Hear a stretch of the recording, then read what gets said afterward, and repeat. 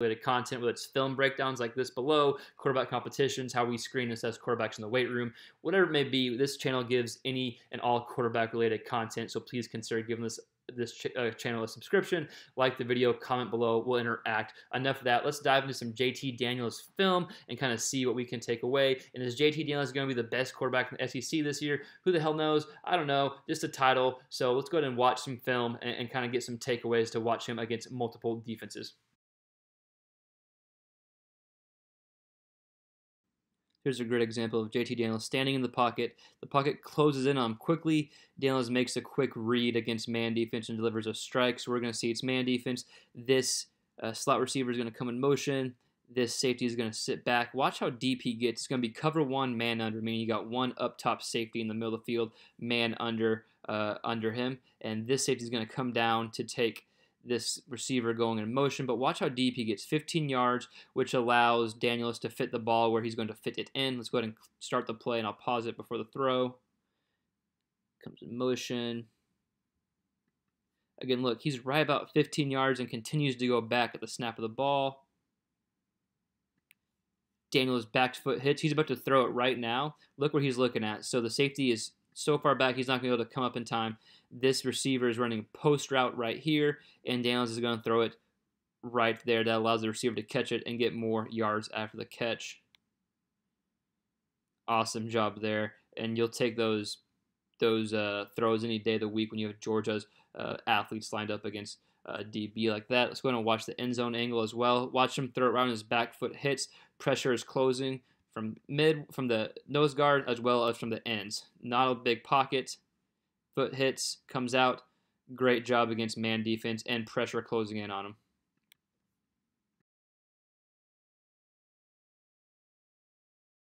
Here's a great example of JT Daniels beating uh, a, a, typical zone defense. It's a typical cover two, right? Meaning we have two safeties up top, dividing the field in half. Uh, you have what's called a, a cover two Tampa, which usually would mean the linebacker is kind of moving backwards. Uh, in this case, it's not cover two Tampa as we see this linebacker is showing like he's going to blitz. He does end up coming back, but not nearly enough space that's going to uh, cause this position to be a threat uh, defensively. And so for cover two, the, the, the main goal as offense is you attack the middle, attack the middle, attack the middle. Most of the time, you have uh, linebackers coming curl to flats, meaning they're coming out here covering that space, and you might have some man scheme uh, underneath the cover two. In this case, it's a touchdown to the slot receiver that runs a post here. This is a, a mismatch every day of the week, but it's a good example of JT Daniels uh, finding a way to beat the zone defense and having the ability to do it. He's going to have a three step drop, quick hitch, there's a decisive throw for a touchdown. We'll go ahead and watch this. So right here is when he knows, okay, middle of the field's wide open. Safety's not going to be able to come down in time. He's got plenty of arm strength to deliver this ball. Uh, plus, he's throwing it to one of his best receivers right here. Ends up being a touchdown. Let's watch the end zone angle as well. Uh, again, just a good example of JT Daniels beating zone defense.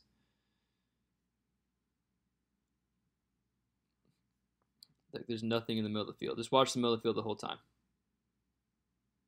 That's an easy throw for Daniels. Makes it look easy. Good arm.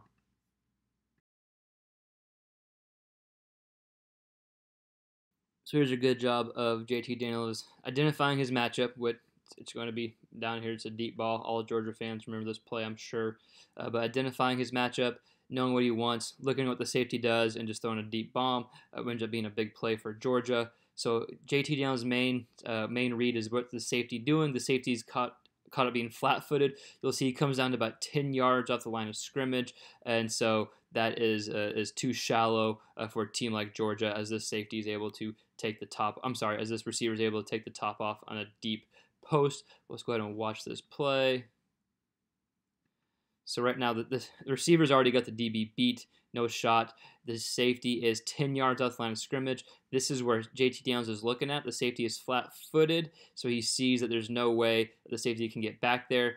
There may be some type of zone scheme here where this safety kind of gets, or this DB gets back, and this safety covers the middle of the field. Regardless what it is, no way either of these two guys are going to be able to cover back here and cover this guy run the deep post slash seam. JT Daniels sees that and throws a bomb. That's his man. Good, good ball by Daniels, deep ball as well. Let's watch the end zone angle so you can kind of see where Daniels' eyes are, what he's reading. So again, Daniels is looking at the safety. He sees him right here, so he's like, there's no way he can get up top. Even if this safety zone is to stay right here, and like I said, the safety on this side is supposed to roll up, regardless what the scheme is, there's no way either of those two guys are going to be able to get back in time. Daniels sees that. Hitch and bomb. Big play.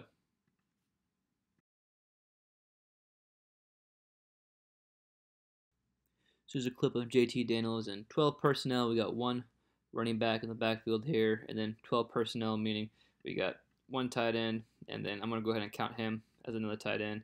We're going to have this running back in motion coming across screen. We're going to have a play action to the left side of the field.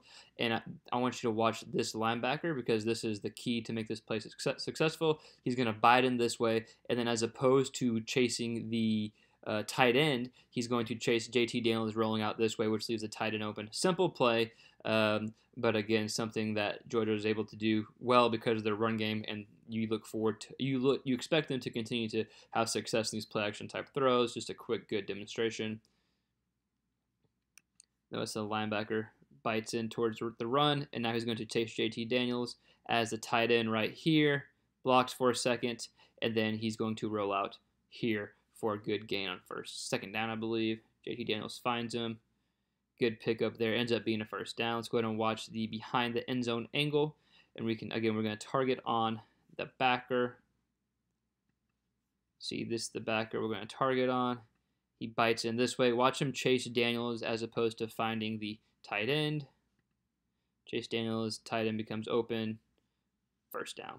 Simple but good play.